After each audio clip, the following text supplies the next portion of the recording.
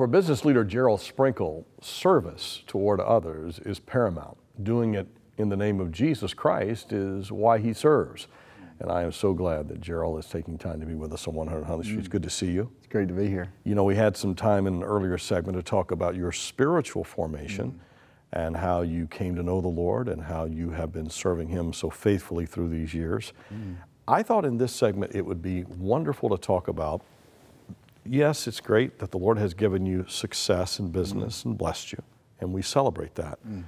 But you have taken a, a, page out of Bob Buford's book, Halftime, where he mm. talks about moving from success to significance in your life.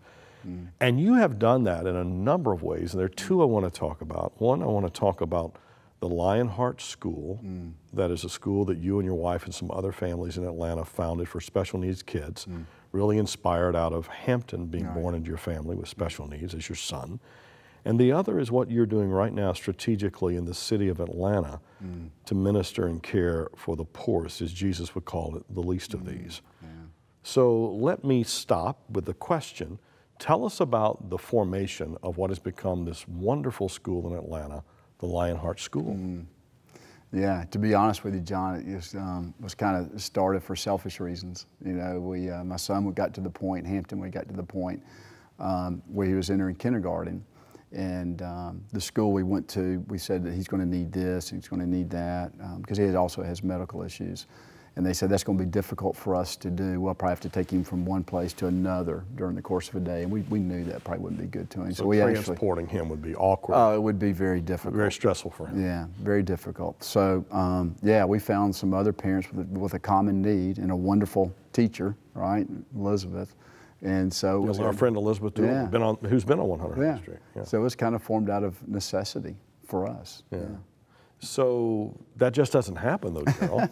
I mean, it may have been yeah. formed out of self necessity, but there was a vision. And what what happened? Were there other people that had a similar vision? Th there was, John. It was interesting. Um, you know, we this all happened like three weeks before school was to start. You're kidding? Yeah, and there was a um, church that offered a little cottage that we could start out um, the school there. And at that point, I think we had nine kids that wanted to come, seven or eight, nine. I can't remember remember back then. But anyway, they offered this cottage, and uh, I told some friends of mine.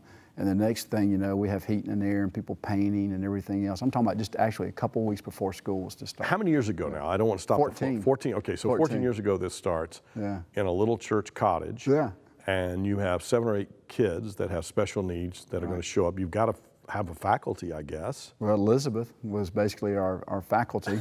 so, yeah, she was tired when she went I home. every yeah. day I bet she, she was. She was exhausted when she went home. So yeah. let's kind of fast forward and talk about where it is today. Yeah. And uh, you know, I've had an opportunity. You guys have asked me to serve on mm-hmm. a you know advisory kind of thing, and that was fun. Uh, we've, we've, we've talked about Lionheart here on Huntley Street. What where is it today and where do you see it heading in the future? You know, John, we are uh, right at over 40 kids and uh, we moved into a new building, I think it was four and a half, five years ago. Mm-hmm. And, um, you know, we always wanted to be very careful when you grow a school for special needs children because the teachers are as, more, more, as much as important as the children. Um, so, you know, it's maybe two kids or three kids to one teacher. So it's a, it's a slow grow. Yeah. Um, thing for sure. And uh, did you did you uh, over time begin to find that faculty and find those people? Yeah, it's interesting. You know, God sent them to us. It's funny how that all happens. You know, we got some great stories. We got a wonderful staff. Yeah. yeah. So your wife Heidi deeply involved in this. On the board now. That's right. Yeah. And I should do a shout out to.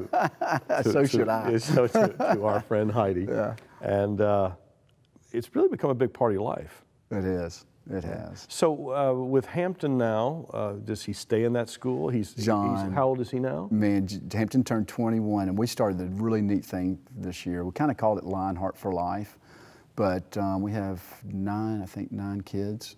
And what they do, they find things that they like or attracted to outside of school, and they work there, right? Okay and unbelievable. Hampton's phenomenal with elderly and loves them. And so he works at Dogwood Forest, or assisted living community. Really? Yeah.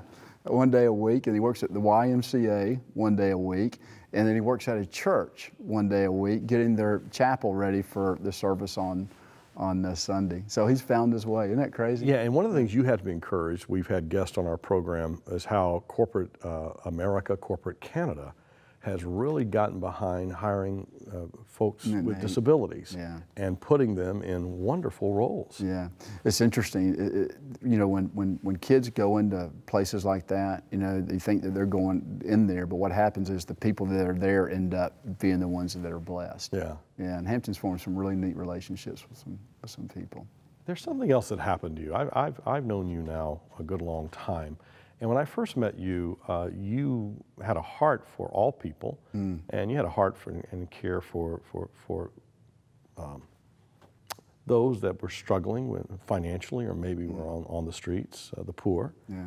Something's gone to a new level with you now. Uh, talk to us about what you're doing to care for poor people in the Atlanta area. Yeah, um, not to promote myself by any means, but you know, it's interesting, John, that a lot of us want to serve, but we just don't feel that we could be impactful in any way, to any any shape, form. Were you there? Or I, you? I felt the same way. I said, you know, I had money to give, you know, but as far as something that I could spend my time, my talents on, and unfortunately, it took me a long time to find what my spiritual gift was, Yeah. you know.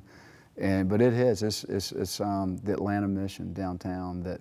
Not only do we serve homeless guys that come in from the street, uh, a safe place to sleep and food and a shower, but we also have recovery programs there that guys can stay there as long as uh, three months to six months to a year, all the way into a job obtainment program, a career development program. just a little background. I know that you have, you and Heidi both have big hearts, and you've opened up your home for people and all kinds of stories and situations there that we've walked with in friendship through the years. You've always had a big heart, and uh, did did you did you sense that with Atlanta Mission this was like a, a new level of inspiration? Was Yeah. this was not just giving, but tactically being more hands on? Absolutely, Yeah. absolutely. It all started with me. I, we, uh, my company sponsored a hospitality one night. John I went to get in my car, and on the other side of a fence, I saw this box moving. And I got out of my car and I said, "Is anybody in there?" And this guy walks out. I said, "What are you doing?" He goes, "This is where I live." I go, "What?" And I said, "What's your name?" And he goes, "My name's Leroy Simon."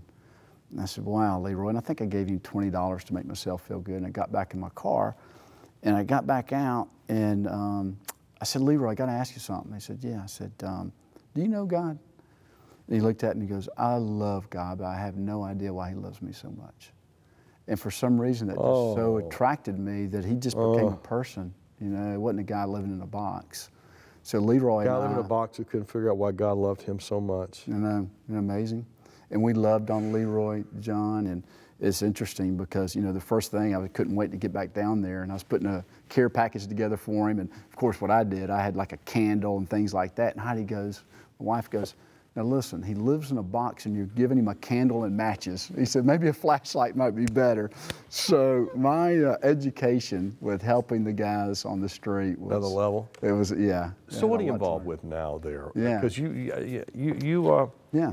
what I, I, I've talked about you. You, uh, I, there was a time, maybe you still do it, but I remember you used to go to jails and Yeah. lead Bible studies. Yeah. Uh, I mean, you just get out there and do it. You, you're not afraid to get your hands dirty. What, Well, what's the last going on? year, what's yeah. with, with the Atlanta? last year is um, I've been really concentrating on the career development program at the Atlanta Mission. I know that sounds funny, but you know, really, if you want to end homelessness, you, you, got to get them a job, Yeah. right?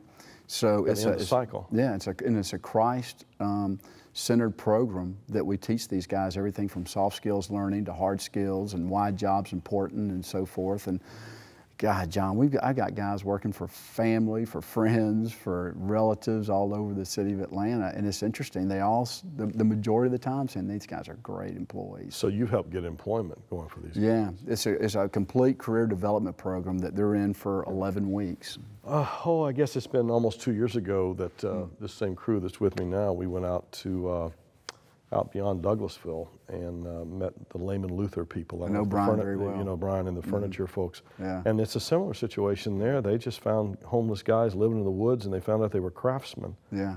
And they began to help them, and now they're creating jobs and uh, have a nice little thriving business going. Yeah. And helping. Yeah, it's a great story.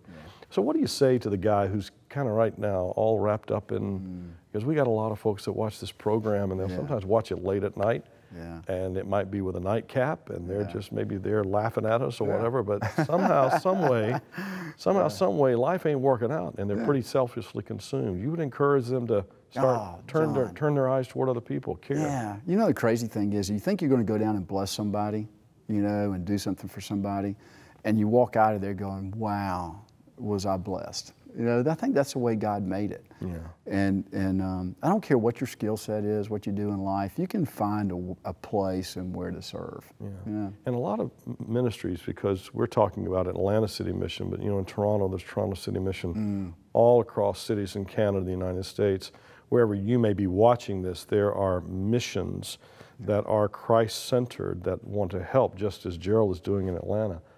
Why not just go online and find out a way that you could get involved? And uh, place the emphasis on others and watch what begins to happen. Uh, Jesus said, Give and it shall be given unto you. And it's what, Jerrill, you experienced. You gave and you had no idea what you get in return. Yeah. You know, our, our Tuesday mornings our Bible study group. And, you know, I always tell people I've been changed by Tuesdays. You know, Yeah. it's the truth. Yeah. It's the truth. Yeah. Jerrill, Jerrill, we are so grateful. Um, thanks for your life and for Mm. your friendship and uh, continued blessing. Uh, you know, we'd say continued success. How about this? Continued significance. Mm, I love it. Pray yeah. that you will. Yeah. Let me pray for you that are watching today that may be where Jerrill is in his life. Father, for those that may be watching today who have who are an exceptionally gifted person and maybe they've had the ability to do well in business and finance and they have they've been able to accumulate some things but still are finding that they're not satisfied that they're not sensing significance in their lives. I pray that they would reach out and find a ministry near them and engage them and make a difference by rolling up their sleeves and getting involved. Beyond writing the check hmm. that they would dedicate a portion of their time to reach the, the least of these, the hurting, the poor, those that are oppressed, those that have been victims, those that have been victims of crime, and, and those that have been harmed. Mm. I pray, Father, that you would give us a fresh, just a fresh burden for those that are living from not just day to day, but moment to moment. Mm. May we not just walk by them and be cold and inconsiderate and make a judgment about them, but may we have compassion upon them. May we see them with the eyes of Jesus. Mm. Continue to have your hand upon Jerrill. Bless him, Father, he and Heidi, and all that they are doing. We pray that you would just strengthen them and thank you for their family. We ask, Father, these things in Jesus' name. Amen. Amen. Jerrill, thanks so mm. much, man. Oh, thank you. You're so good at that. Oh, well, we- Man, man, we just you were- we're grateful.